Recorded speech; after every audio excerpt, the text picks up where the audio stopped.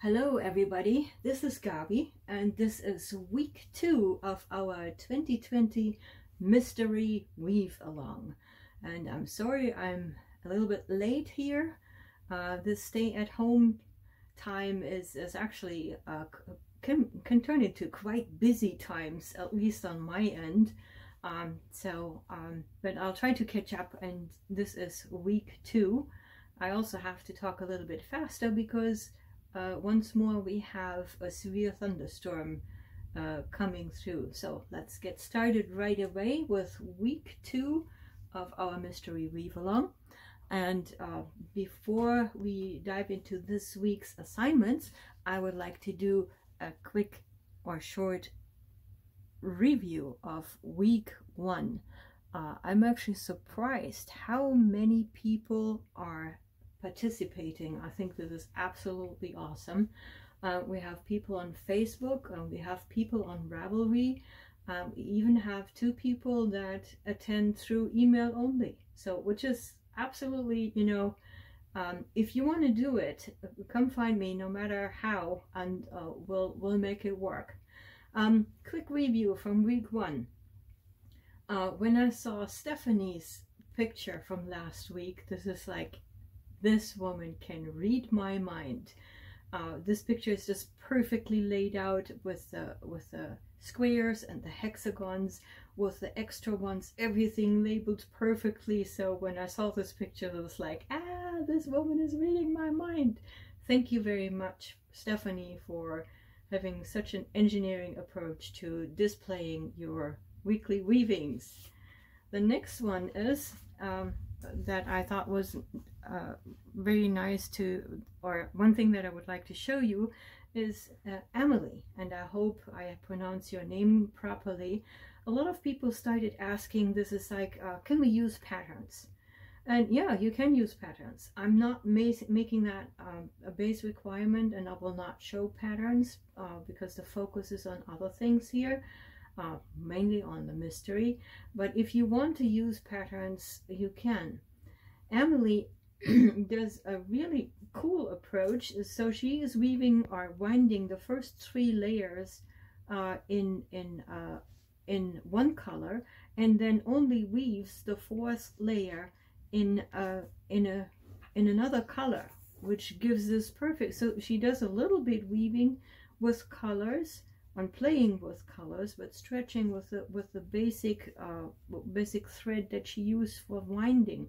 I love the effect. It looks like a candy store. So this is like perfect. I wanted to show you this as an example because, um, you know, if you don't like just plain weave, but you don't want to tackle patterns right now, um, you have so many options and this is one of them. Wind in one color and only use a color for the fourth layer. Um, all right, uh, if you want to get really fancy with patterns, uh, take a look. Uh, I used Tara as an example here. And um, Tara is using, um, so she is using this one as, the, the blue is plain, but then she is using uh, this one for a, a, pattern for her beige and a cross pattern. I'm not sure if you can see this properly. Let me see if I can zoom this in a little bit. Um, a cross pattern, weaving pattern for um, uh, for her red squares. Um, if you choose to weave patterns, I highly recommend that you pick a pattern that uh, has no direction. For example, here, both of these patterns are ideal because whether I hold them like this or hold them like this, they still look almost the same. All right, and that will be important for the last week when we put all the pieces together. Anyway, so that's pretty much everything I would like to say about pattern. You can do patterns if you want, but you don't have to. Play with colors and let the colors work and just enjoy the weave along. All right, colors. It's mind-boggling the beautiful colors that we have seen in week one. And I have chosen Maureen's color choices here uh, to show a beautiful blend of, of pastel colors.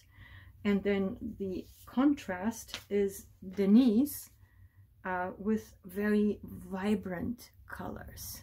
And you know, let me just go quickly back to, to um, Maureen here, and then once more Denise. Everything works. Uh, you know, colors that blend or colors that contrast.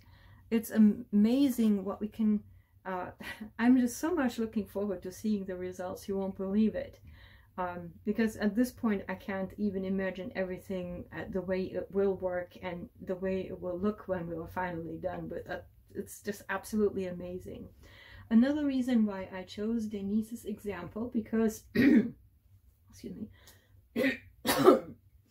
she uh, she post when she posted this picture uh, she said hey this is my first time joining one of the major objectives of this weave along is to um, to overcome the hurdle of of joining. Um, just give it a try like Denise did and take a look at her work. This is like, it's totally perfect. And it's, it's really no big deal. There are different methods on how you can join. Uh, try out uh, several different methods.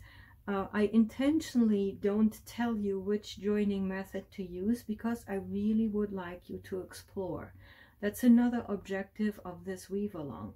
I want you to go out and look, uh, browse, surf the internet, talk to your friends in the groups. Hey, what are you using? Take a look what I just found. What do you think of this? So it's not kind of, okay, do ABC, but okay, here's the theme. Go find something and try it out. And if you don't like it, try something else. But um, the key is that nothing is too difficult. Um, just try it out and see if you like it. So thank you, Denise, for encouraging, and many, many others actually after that came and said, hey, I tried it. It's actually not that bad. We had several people that also said, well, I'm not really happy with my joints. And that's okay too, because it's not like you get up in the morning uh, and say, hey, today I go to Tokyo to the Olympics and win the gold medal. It doesn't work that way. And that's not, and that's the same for crafts or for work or for sports or what have you. Um, you know, you have to be determined to try it. Try it out and then practice. And practice will make you better. But also don't uh, don't throw out things that you uh, you know that are not perfect. And this actually um, I will have another point on that uh, in, a, in a little while. But anyway, keep on trying. Uh, just get started and then keep practicing. All right, and last not least, uh, this is the chuckle of the week. Uh, Carol posted this little super cute bunny and how timely with Easter weekend coming up and said, hey, you know, this square did not want to be a mystery. It wanted to be a bunny. And I got such a laugh out of it. So thank you, Carol, for cheering us all up with your extremely cute little bunny. All right, uh, enough review. Let's take a quick look at our week two. And um, here's one thing that I, I, thought that I just started and I would like to finish. Uh, one of the, uh, and I'm start, starting backwards here, I admit that, but you see here the 2020, and there you see November 1967. Um, two things about that. One is, if you are not perfect right now, don't worry, keep practicing. This, I have shown this actually two years ago when we did our weave and stitch along, uh, this is my very first piece that I completed in embroidery. And you can see there are like several things that are really totally crooked and not so perfect.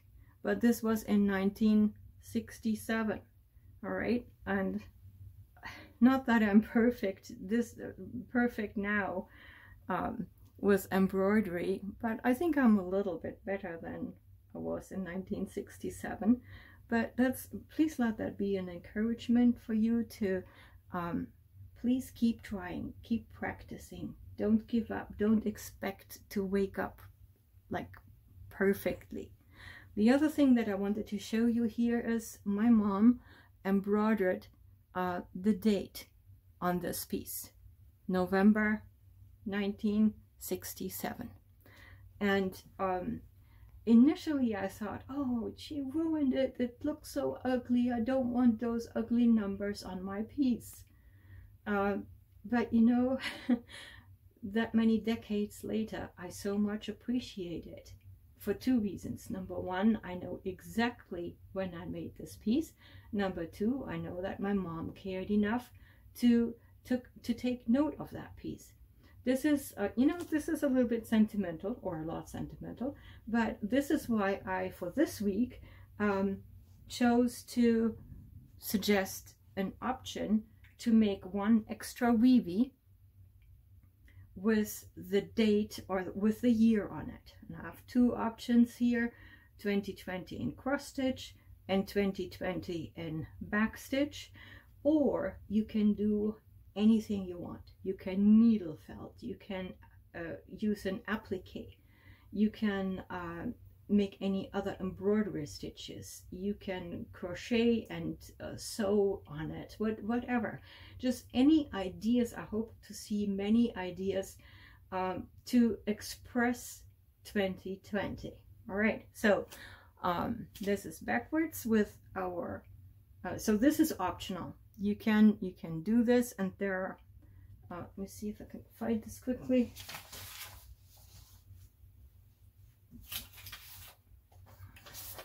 I put two sample um, alphabets actually complete alphabets that work very well on the zoom loom and the hexagon pin loom.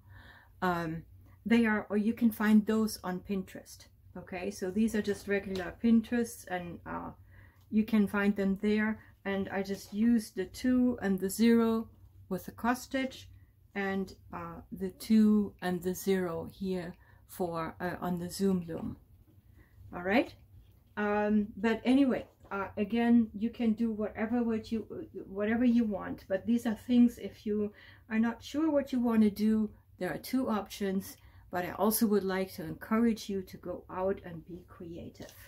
All right, let's take a quick look at uh, our second week here. The goals for this week is uh, weave and assemble the second six squares or hexagons. And then we already uh, add the date, which is optional. We already talked about that. Also, Start collecting snippets of yarns. About 10 will be plenty and anywhere between 1 and 3 inches is fine. We will be using them later. I show you an example here of the uh, two squares that I assembled. Um, if the threads are long enough, just leave them there is my recommendation for later.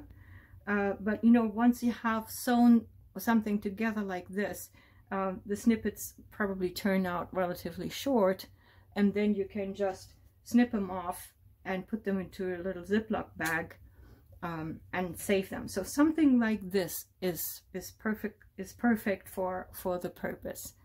So this or a little bit longer is fine.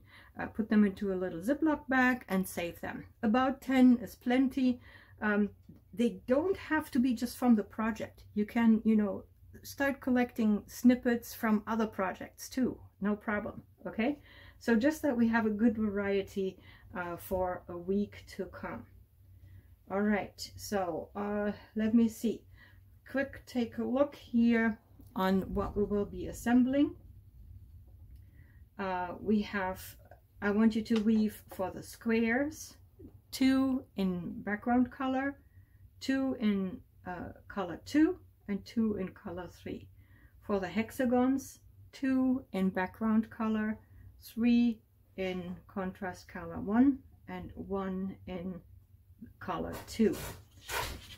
If you flip the page, turn the page, you see the two schematics. Let's get started with, let me put the hexagons aside and zoom in a little bit.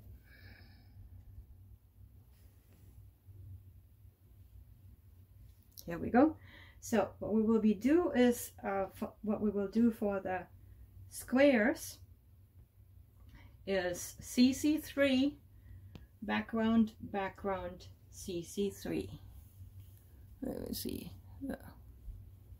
It won't fit. i have to zoom out a little bit. Here we go. All right.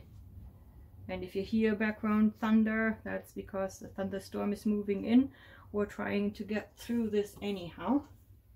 So CC3, background, background, and CC3. All right. And then we need CC2 and CC2. So this is what you will be making for the squares. All right. Again, CC3, background, background, CC3, CC2, and CC2. And you see here that this last one is not attached. And I just want to show you very quickly how I join. Please remember how I join is not how you have to join. It's an option. It's not a must. But I would like to show you in real time how easy the joining actually is. So let's take a look here. So here is our, uh, here's the strip of three squares that we already have. And here's the next square that I want to attach. I always start, because it helps me to think, I always start with putting the weavy down the way it comes off the loom. So this one here is the starting thread and this one here is the, the, the ending tail, okay? So that's how it comes off the loom. All right, I use the starting thread for sewing, but you can use the, you know, you can use the end tail from the other hexagon, uh, other square if you want. That's personal preference. You can do whatever you want. I just show you today what I do here with the starting tail, thread it. And uh, I told you I will do this in real time. I'm left-handed. I'm doing it with my right hand so that it's easier for you to see, which means it will be a little bit crooked to watch. I hope it will not be too crooked. All right, let me zoom in a little bit and then show you. All right, the trick with the squares, or it gets tricky, seemingly tricky, because the squares have those scallops, all right? But it's really not that bad. It looks very pretty, by the way, because you have this automatic edging. You don't need to do anything there. But it, when, when it comes to joining, you ask yourself, like, okay, how do I make them fit together? Well, it's actually, if you look closely at those uh, scallops, you see that there are always two turns of threads. One turn, next turn, little gap. One turn, next turn, little gap and this is what we will be working with. So if you look at those two here, when you slide them together, you see how those scallops actually move together, all right? So this is one scallop gets into the scallop of the opposite side. And the other thing is that this one here on the left has this very tiny little dinky or tiny little scallop and on the right one there is nothing right there. So we will try to uh, make use of that. Grab your gear and then when you have them like this in front of you pick them up and just slide them together like this and hold the edges up. And you can see hopefully. that the edges kind of you know here's a scallop and that goes into where there's no scallop on the other side. Here's the scallop. Then front scallop, back scallop. You can probably see it a little bit better if you hold them a little bit off. All right, slide them together like this. and now we'll just get started with sewing. The first stitch I do is I go through that little scallop on the white side. And through the first scallop on the back like this, okay?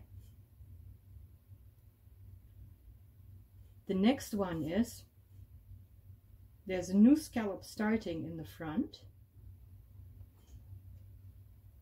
and there's one to finish in the back. Can you see this? I'm just bending this a little bit.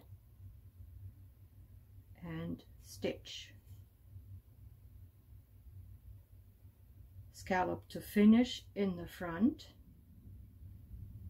Scallop to start in the back. and that will be the story of your life. Scallop to start in the front, finish in the back stitch finish in the front start in the back start in the front finish in the back. Finish front start back. Stitch. Start back. Finish. Stitch. And you can also just you know finish start start finish finish. Start. Start. Finish. Finish. Start. Start. Finish. Finish. Start. And then there's one. Where we do just the last one in the corner. Okay? All right and now you have an opportunity to check. So this is what it's look like looks like right now. Um, work with medium tension. What you want to achieve is that your sewing looks very similar to the weaving. Okay, I probably worked a little bit too, um, too loosely for this one, but let's take a look. So what I do is I put it down and just stretch it a little bit. You see this? And then you can turn it over and this will because this will be your your right side you work on the on the wrong side and then this will be the right side of your final project in the end actually looks pretty good, at least good enough to me. So since there's not much thread left, I'll just weave in the end. So like five or six or seven stitches. All right. And then snip it off. This one is probably a little bit too short for my project, so I would probably discard that. But anyway, so this is a real-time uh, sewing two squares together. And I even talked with it, and I did it with my right hand. So with a little bit practice, you get very fast with this. And here's our piece of week two, week 2A.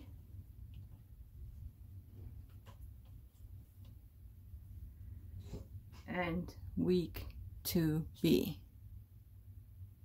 All right, let's do the same thing for our hexagons. In hexagon land, we have two strips this week.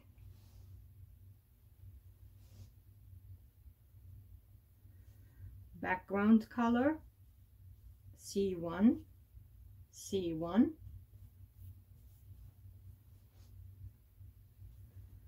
and another background color. You see all those threads here and several people have asked, um, you know, can we just weave in the threads or, um, or, or what? Um, it's personal preference. If you are get irritated by all these threads being around, feel free to weave them in and then you just use a separate thread to sew your pieces together. Um, I personally like to um, use the ends to weave together, uh, to sew together, sorry. Um, because then I also have the right colors at hand. I can show you an example with what I mean with this. Let's get this a little bit organized. Um, the same trick is true here. I do the, uh, I take the, the new weavy off the loom the way it comes off the loom and then I lay them all out which keeps them all into the right direction and I have the sewing threads at the right time. And you can see here now this is like if I lay it out like this I have a thread for sewing in the right color. So when you sew together different colors I highly recommend that you choose one of those colors for the sewing and not a third one because a third one would stick out right Okay, same thing here. I want to quickly show you how to sew two hexagons together. And there will actually, uh, down the road in coming weeks, there will be two different ways to sew them together. Um, but for now, again, this is how it comes off the loom, how it comes off the loom. Um, sew the thread that's like right there. And then you pick them up the way you have put them down and then we start sewing okay. And with the hexagons you see here that it, it almost looks like little beads that when you put them together so hold the the two rows of beads um, next to each other and then you just start sewing. So the first one is just to secure the thread and then you pick up the one in the rear and in the front and pull through. And always always pairs of those little beads. And you know don't go you don't need to go in between. Just just sew those little little dinkies or beads together. And you will have one two three four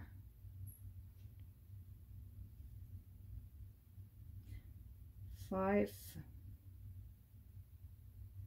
And again um, six pulling through.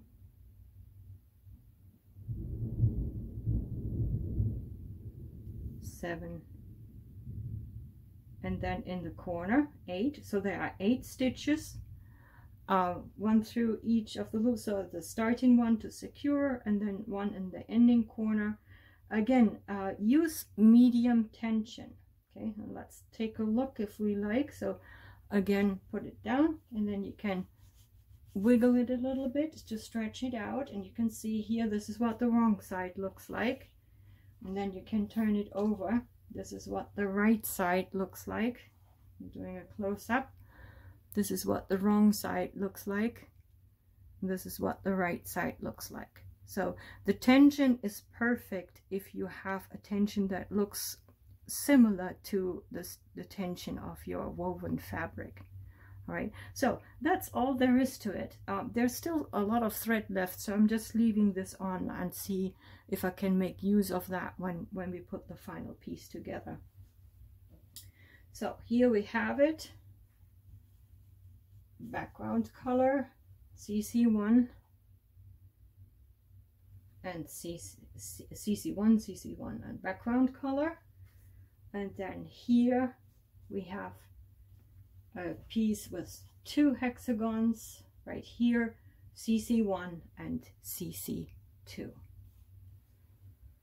all right uh, let me do a final check. I think we got everything for today um, if you have any questions, um, please just contact me. I have people contact me through the blog, through email, through the, you know, people post on on the uh, on the groups, which is awesome. Um, but any anything goes. There's no need to get frustrated. Before you get frustrated, um, you know, contact or post. Uh, we're here to support each other. Um, this weave along is intended to be fun. It's not a full-time weave along because you still have to take care of yourself, of your families, and maybe you will still have a knitting project or something else going on that you still want to pursue at the same time. So um, it's it's not too uh, time consuming. The other thing is that also um, it will allow people, if you have a friend or so, and that friend says, oh, I would like to attend, or I would like to do that too, but I'm not sure if I'm too late. You can start at any time. Because the load is relatively easy, there's still plenty of time to catch up. Uh, and also, the materials will stay up there if you, don't worry if you don't get done right now, because there will be, uh, you know, you can, you can do it anytime you want. All right, I think we got everything. Let me just do a final check here. Um, yeah, I think that's, we have a frequently asked questions. For example, you know, do we weave in the ends? Uh, what do I do, uh, you know, um, am I too late or anything like that. We have frequently asked questions. If I get questions more than twice, I'll write a frequently asked questions and they are on the Texas Gabi blog so you can find them there. All right. Um, I hope you enjoyed this very chatty um, video for week two. And I'm looking forward to seeing many, many pictures. And let's chat and uh, just have a really good time together. Again, if you have any questions or concerns or comments, please contact me. We'll work it out. That's it for week two. Have a great week. For those of you who celebrate Easter, um, enjoy Carol's Bunny one more time. And um, I'll see you next week. Bye-bye.